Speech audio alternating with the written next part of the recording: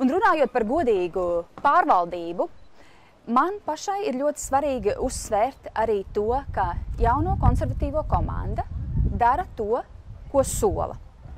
Nevis ko kāds cits varētu lemt, ietekmēt.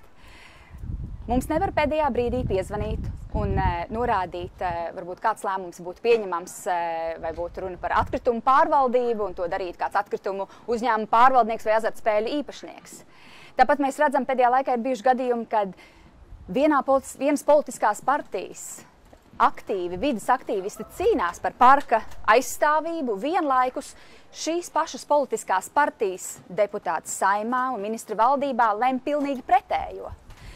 Tas, ko es saprotu ar saprotamu, caurskatām, godīgu pārvaldību, nozīmē, ka viena politiska partija, vai viņa ir Rīgā, saimā vai strādā valdībā, viņa strādā pēc vienādiem principiem.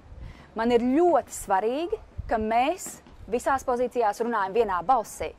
Un jaunā konservatīvo komanda tāda arī ir.